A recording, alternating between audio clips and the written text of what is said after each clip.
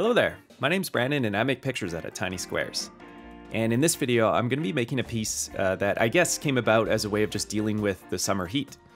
Uh, it's been fairly hot where I'm at, and uh, from what I've seen, it looks like a lot of you can probably relate to that also.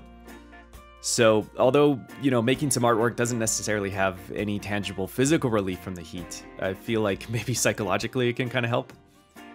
Uh, even so, I am enjoying summer, and in fact, I'll already be away on vacation at the time that this video releases.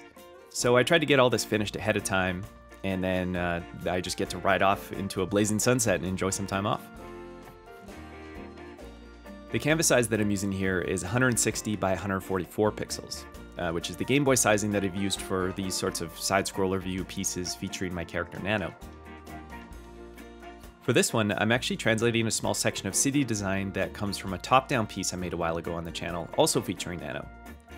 So the idea was just to use this portion of the street as the backdrop here, and then also getting to reimagine it from this alternative perspective was quite fun as well. It's actually been a really long time since I've made an entry into this series.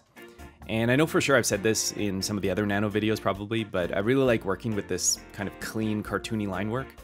So a lot of things here are just kept to really simple shapes, uh, like with the ice cream truck here. This is of course one of the focal points for this piece. Uh, I wanted to have a few characters out here trying to beat the heat uh, just by sharing some ice cream. I remembered that in an earlier piece I had this gorilla character working at a food stand, so I actually just grabbed that little section of window and placed him in here. And this did require a bit of rework just to make sure that he'd kind of fit in that truck, but eventually I sort of resized it and got him crammed in there, uh, although he probably still looks a bit awkward, uh, you know, but that might actually just be due to the way that he's looking off to where people are eating the ice cream. And I don't know, it looks kind of goofy, but I'm just going to roll with it. My larger plan for this one was more to do with the coloring. I want to try using sort of two sets of color palettes here. The main one is going to be a lot of reds and oranges to establish this general hot look for the cityscape. But then I'd like to introduce some pops of blue in the areas where they're eating ice cream, so you're almost able to see just the relief in those spots just based on the color alone. I'm not sure how that'll go, but for now I'm just setting the scene so that it'll be ready for that kind of color experiment later.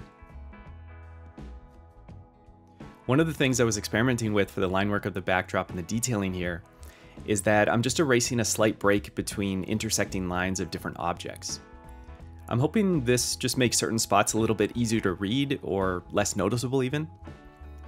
And this is actually something that I tend to do a lot in 1-bit style work. And in the case of 1-bit, since you're only working with two colors, uh, this sort of thing feels like a good way to improve the readability of the line work. Uh, in this case, of course, uh, I'm going to have different colors filling in these uh, areas anyway. But I still think that this sort of treatment could be a nice way to soften the line work, or at least give it a different sort of quality than if it were closed lines everywhere. Other than that, I'm finishing out the detailing here by translating a few more things from the original artwork, but overall I've kept it fairly plain and left a reasonable amount of room and open area just so that there's space to play with the color application.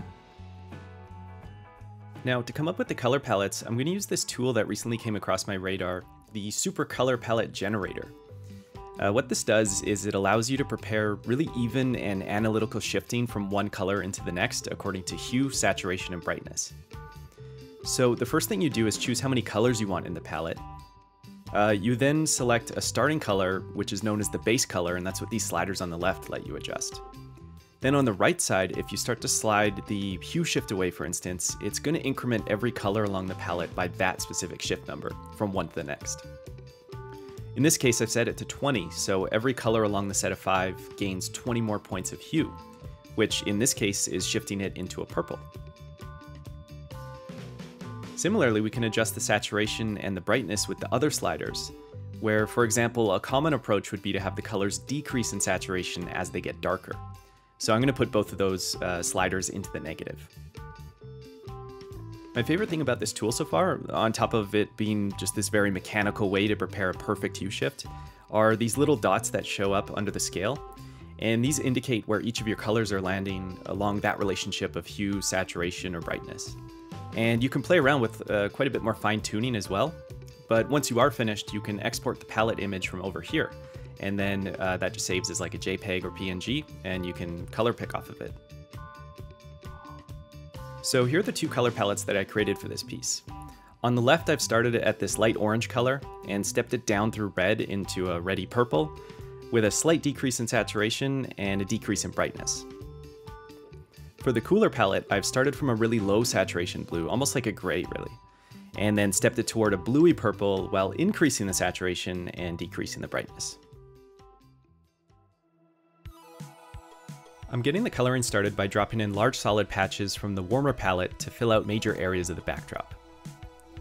To make this easier, I've created a new layer underneath my line work, so I can just create large selections or be really loose with a large brush and it'll pretty much land in a good enough place that it can just be tidied up and detailed later. For now, this was just to establish the look of the city backdrop, uh, kind of baking in the sun, I guess. And then from here, I'm going to take some colors from the cool palette and start to paint in points of interest for that temperature. Uh, kind of anything that I'm generally going to consider as being safe from the heat in some way.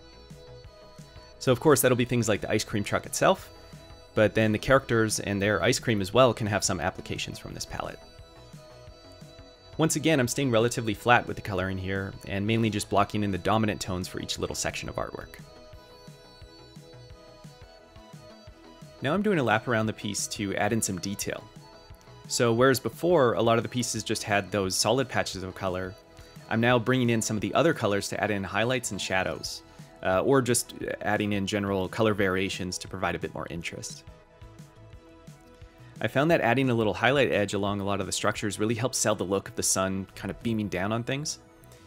And this was kind of one of the trickier things really. Uh, this is a really simple style, but you know, I wanted this large sun in the background, but I didn't really want to have to cast the whole foreground in shadow and sort of lose those details. Uh, like I still want it to look like we're sort of viewing this uh, city street through this haze of heat in a sense. I also wanted to find a way to work in some type of pattern that could be characteristic of each temperature.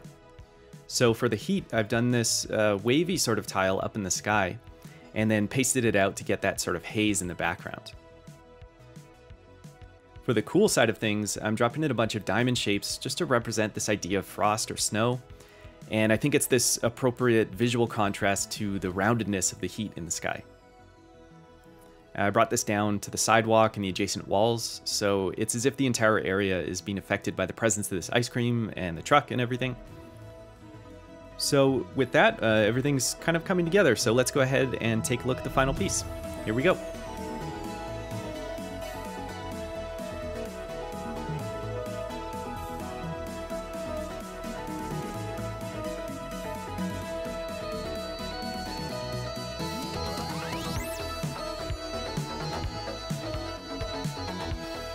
All right, well, there we have it. Uh, I think. Just because of my schedule this week, I've actually had to record this commentary before I finished the artwork. So I don't know what has happened, but what I hope happened is that we're looking at a, a thing where I've added a slight touch of animation to it.